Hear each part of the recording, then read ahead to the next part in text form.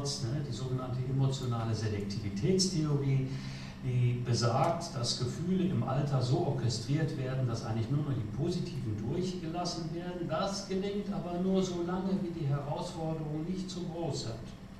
Das heißt, erst einmal ergibt sich in relativ stabilen Situationen sowas wie weniger negativer Affekt. Man sagt, so Leute zwischen 50 und 70 sind am glücklichsten. Ja, also die, die jünger sind, freuen sich drauf. Ne? Dann brauchen sie sich nichts mehr zu beweisen. Ihre Kinder, die Plagen, haben es aus dem Haus, die Viecher sind tot. Ja, ja so, und äh, man hat sein Häuschen gebaut und die Schulden abbezahlt, freut sich auf die Rente. Ne? Und dann, dann, ist das Leben eigentlich ganz nett. Ja, so ab 75 fangen die chronischen Erkrankungen an. Die meisten ab 75 haben eine chronische Erkrankung. Dann geht es leider erst wieder abwärts. Ne?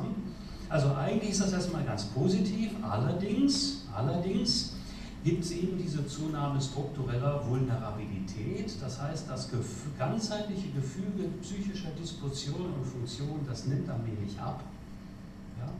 Das betrifft sowohl das Ruhestandsnetzwerk im Englischen, Default Mode Network, also Identität, Selbstgewissheit, das eigene Ich, die Fähigkeit, andere Menschen in mir nachzubilden, also kognitive Empathie ja, diese Dinge, die nehmen ab und zugleich wird das Salience Network, also dasjenige, was sozusagen die Aufmerksamkeit auf bestimmte Dinge richtet, hyperaktiviert. Konkret bedeutet das, dass ähm, Dinge, die bisher für mich ganz unproblematisch waren, jetzt schneller angstauslösend sind und schneller auf sich bezogen werden.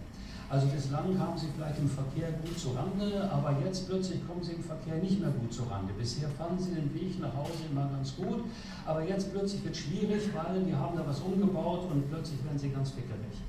Das heißt, die Stresswelle reduziert sich, die Sekundärprozesse greifen immer schlechter. Und das kann im Alter so weit führen, die Johann Eriksen, äh, die Frau von Erik Eriksen, die hat das so beschrieben, dass sie sagte, ähm, es kann einem im Alter quasi das Urvertrauen abhanden kommen. Man gewinnt also eine neue Grundängstlichkeit, äh, weil aufgrund dieser Störungen des ganzheitlichen Gefühls psychischer Dispositionen man sich in der Welt und mit anderen Menschen immer weniger sicher fühlt, sicher fühlt und damit nehmen unsicher vermeidende, also letztlich schizoide und paranoide Persönlichkeitszüge zu. Ne, nicht, dass sie jetzt alle schizophren werden. Also Schizoid bedeutet nicht schizophren. Schizoid ist man eher so für sich, man versucht sich eher so zu schützen, man macht eher so sein Dingen, ja, man ist nicht so sehr extrovertiert. Und paranoid ist, man ist eher der Neigung, äh, dass andere schuld sind. Ja, das ist ja auch ganz entlastend. Ne? Ich, ich glaube, dass die anderen dafür zuständig sind. Ja, also wenn Antizipation und Suppression nicht mehr greifen, das sind also die wesentlichen Systeme der Emotionsregulierung, dann ist man gefährdet für Depression, Angststörung, Dissoziation und Körper, funktionale Körperbeschwerden. Jetzt können Sie sich schon denken, Demenz, ja, das ist ja im Grunde genommen erst recht eine Störung des ganzheitlichen Gefüges. Das heißt also Angst, könnte man sagen, ist quasi ein unvermeidbarer Teil, der dann aufkommt, wenn ich die übliche Orientierung nicht mehr habe, die mir mein Default Mode Network eigentlich zur Verfügung stellt. Ja. Was bedeutet das letztlich? Ich mache mal ein bisschen kürzer. Was die Leute wollen und brauchen mit zunehmendem Alter ist ein Gefühl von Halt, von Sicherheit, von Kontinuität und von Bestärkung des positiven Selbstbildes. Also sie brauchen sowas wie ein Holding, eine Positivierung, einen Therapeuten oder Pflegenden als Hilfsich, der mir im Grunde genommen immer sagt, alles ist gut. Ja? So wie natürlicherweise, jetzt so in Ihrem Alter oder so in meinem auch noch, ja, unser mediale präfrontale Kortex, die Amygdala immer beruhigt und der immer sagt, alles ist gut, ne? brauchst dich nicht zu fürchten, kannst ruhig weiterfahren. Ja? So, ne? so, und das, das gelingt immer weniger und ich brauche das quasi von außen. Ich brauche immer mehr von außen jemand, der mir sagt, alles ist gut. Und je mehr ich diesen seelsorglich Verbündeten habe, ja, desto mehr kann ich durch Nähe das Angstsystem deaktivieren. Und je mehr das Angstsystem deaktiviert sind, desto mehr werden auch wiederum höhere kortikale Strukturen wach. Das heißt also, Sekundärprozesse können wieder begreifen und der Mensch gewinnt auch im Alter wieder mehr strukturelle Klarheit und Sicherheit. Das heißt, je mehr Nähe und Geborgenheit und Halt er findet, desto besser kann er sich auch verhalten und desto klarer wird er. Ne, die Psychoanalytiker wie Helmut Luft, die sagen also, eigentlich ist das zunehmende Altern der Wunsch nach Umsorgtsein, nach Wiedereintauchen in den Schutz mütterlicher Primärobjekte. Ne? Und in, die, in, dieser, in der Demenz kommen im Grunde genommen diese primär narzisstischen Wünsche nach Geborgenheit ungeschminkt zum Ausdruck, indem die Leute sagen, ich will nach Hause oder meine Mutter holt mich heute Nachmittag ab. Das sind also im Grunde genommen ganz leicht verständliche anthropologische Grundlagen, die in der Demenz zum Zuge kommen ähm, und aus denen man eigentlich das gut ableiten kann. Nochmal so in so einem Bild, ne, da sehen Sie so einmal die Komfortzone, ne, High Arousal, Low Arousal, also hohe Erregung, niedrige Erregung. Wir versuchen in der Optimalzone zu schwimmen. Im Alter wird sozusagen diese Komfortzone enger und dadurch kommt es immer mehr zu Hyper-Arousal, also zu Angst, Panik oder zu Hypo-Arousal, also Gefühle von Verzweiflung und Wertlosigkeit. Gut, ich überspringe jetzt mal ein bisschen was über die Grundlagen psychischer Erkrankungen, sondern schwinge mal weiter zu den Angsttheorien. Ich weiß nicht, wie viel Zeit ich eigentlich noch habe. Hm? Gut zehn Minuten. Das ist gut, dass ich bald schnell weitermache. Also es gibt so verschiedene Angsttheorien, die ich hier nur so kurz antike, genetisch bedingte Verhaltenshemmung und Angstsensibilität. Ne? So, da spielt die Vererbung eine große Rolle. Frühkindliche Trennungsängste durch biografische Ereignisse, zum Beispiel früher Verlust der Mutter, ne? so Ängste verlassen zu werden. Ne? Dann, wir wissen, spätes Auftreten der generalisierten Angststörung bei kindlichen Traumatisierungen, also Menschen, die im Alter traumatisiert wurden, kriegen, nein, die in der Kindheit traumatisiert wurden, kriegen im Alter vermehrt eben auch eine generalisierte Angststörung. Ne? Phobien und Schamangst, vor allen Dingen, wenn die Eltern einen sehr hohen Anspruch haben ja, an die Gefügigkeit des Kindes. Und natürlich alle Störungen in diesem System äh, machen sich später bemerkbar durch Hemmungen bei Aggression und Sexualität. Insofern, Freud hat da schon ganz recht gehabt.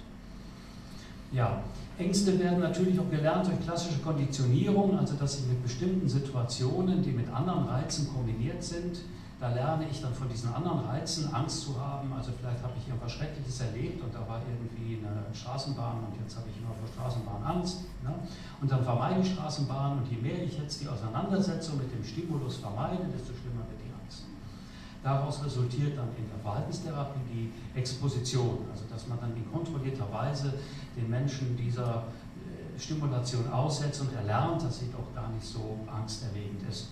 Es entsteht eine verzerrte Wahrnehmung, eine falsche Bewertung, also ein sogenanntes maladaptives kognitives Schema über die Gefährlichkeit von anderen Menschen oder der Welt oder dem anderen Geschlecht oder von Tieren oder was immer es auch ist.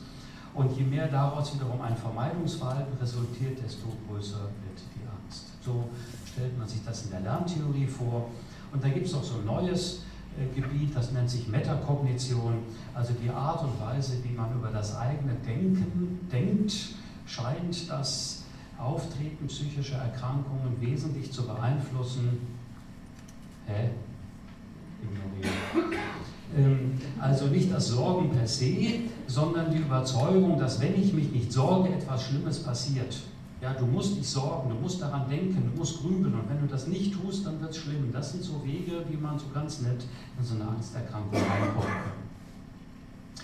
Gut, meine Auswahl von Angststörungen, da haben wir die generalisierte Angststörung, also eine diffuse Angst, eine anhaltende Besorgnis über Alltägliches, eine motorische Spannung, man macht sich über allen möglichen Kack, macht man sich Gedanken und Sorgen, obwohl man weiß, dass es nicht nötig ist.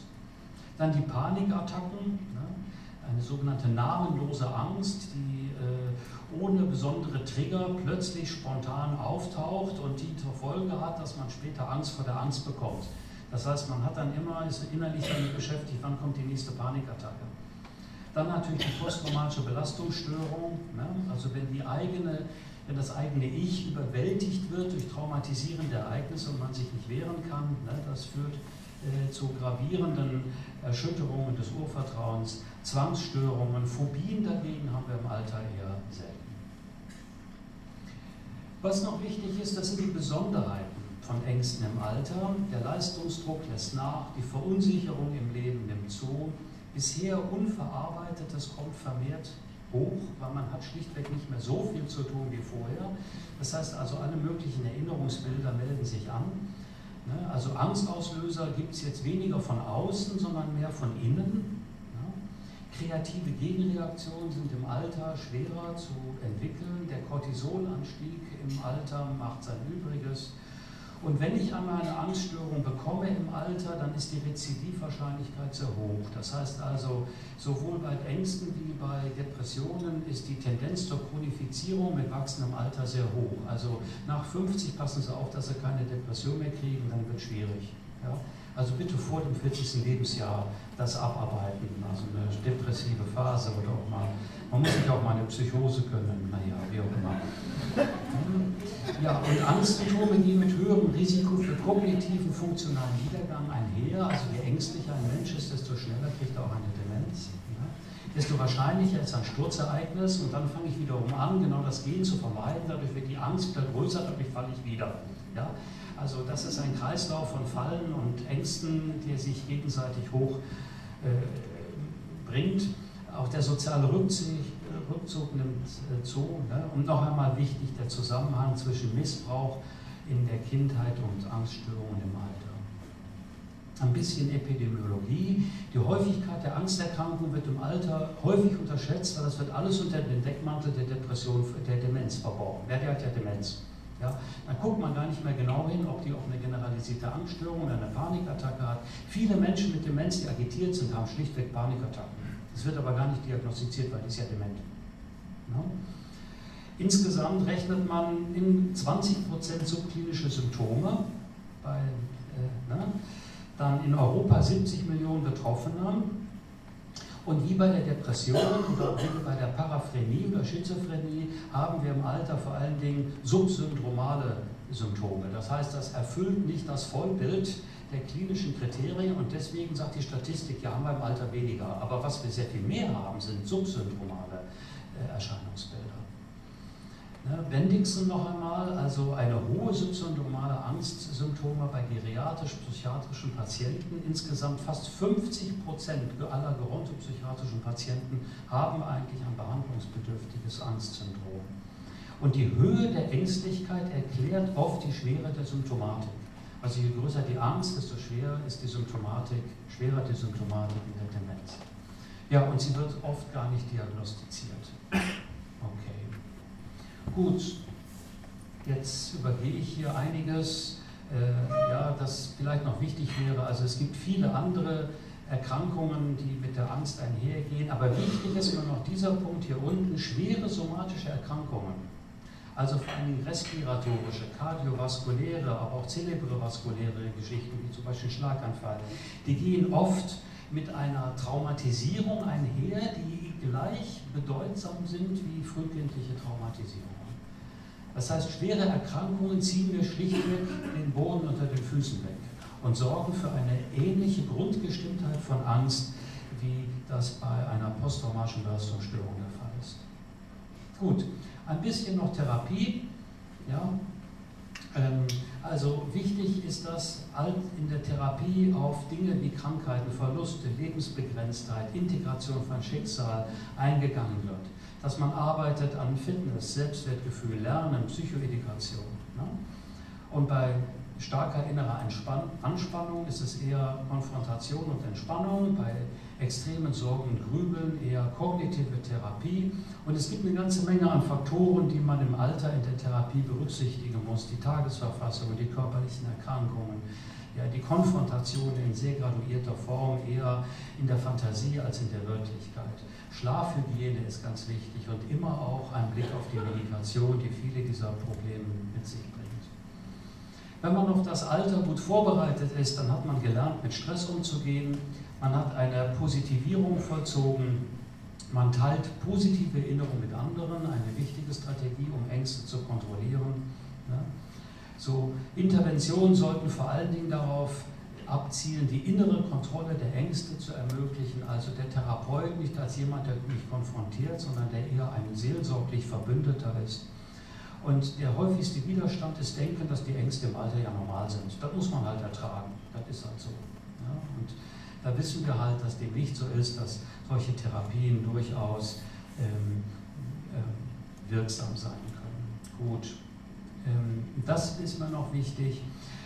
Abhängig ist das oft gar nicht von der Therapierichtung, sondern die unspezifischen Effekte sind wichtig. Also letztlich das, was Rogers und andere immer den Unconditional Regard genannt haben. Also die unbedingte Wertschätzung, den Trost, den Halt, ja, ich nenne das nochmal das Bild des seelsorglich Verbündeten. Eine haltgebende, Sicherheit vermittelnde Haltung ist notwendig. Und darunter noch ein paar Dinge. Okay. Auf eins will ich nicht verzichten, auch wenn die Zeit knapp ist, die Pflege. Das muss noch sein. Also, bei der Pflege von Angstpatienten ist das Ziel, eine Auseinandersetzung des Patienten mit seiner Angst zu unterstützen und einen Umgang damit zu fördern. Den Anspruch, dem Patienten die Angst zu nehmen, ist oft nicht erfüllbar. Die Menschen haben oft seit vielen, vielen Jahren eine Angsterkrankung. Ja, sie haben eine äh, Persönlichkeitsveränderung. Da haben sie als Pflegender in den jeweiligen Rollen nur sehr bedingte Möglichkeiten, darauf einzugehen. Hier drunter stehen jetzt so ein paar Dinge, die sich äh, vielleicht äh, auch von selbst schon erklären, angstlösende Situationen identifizieren, ja, äh, dem Patienten helfen, sie realistisch einzuschätzen, Ablenkungstechniken entwickeln. Aber die Dinge, die hier sind, die sind mir noch wichtiger. Die Betroffenen dahin bringen, sich auf das zu konzentrieren, was um sie jetzt herum passiert. Ja, und diese Fixierung auf, was wird geschehen, was kommt noch zu vermeiden. Das heißt also, je besser die Tagesstruktur, mehr die Menschen was zu tun haben, je weniger man sie alleine lässt, desto eher sind sie auch in der Lage, ihre Ängste zu kontrollieren. Ja. Betroffene können auch im Alter noch lernen zu beobachten, wie die Angst kommt und geht und dabei aufhören, an und um die Angst herum immer zu denken. Das ist durchaus möglich. Also eher lernen, mit der Angst umzugehen und nicht unbedingt das Ziel haben, die Angst zu vermeiden. Und dabei kann man erkennen, dass man Fortschritte macht dass man die Angst mehr beobachten kann und nicht nur, dass man sie erleidet. Und das nennt man heute, so nach Fonagy und Bateman, nennt man das im Grunde genommen mentalisieren. Also ich lerne auch im Alter durchaus noch meine Ängste zu mentalisieren, also zu beobachten, wie sie kommen, wie sie gehen. Und über das Beobachten entwickle ich eine Distanz zu ihnen und bin auch in der Lage, sie zu kontrollieren. Meine letzte Folie, die muss auch noch sein. Ich bin ein Fan von Marc Aurel, ja, römischer Kaiser, und er hat mal Folgendes gesagt, vergeh dich ruhig, vergeh dich an dir selbst und tu dir Gewalt an, meine Seele. Doch später wirst du nicht mehr die Zeit haben, dich zu achten und zu respektieren. Denn ein Leben nur, ein einziges hat jeder. Es ist aber für dich fast schon abgelaufen. Und du hast in ihm keine Rücksicht auf dich selbst genommen, sondern hast getan, als ginge es bei deinem Glück nur um die anderen Seelen. Und jetzt kommt's, diejenigen aber, die die Regungen der eigenen Seele nicht aufmerksam verfolgen, die sind zwangsläufig unglücklich.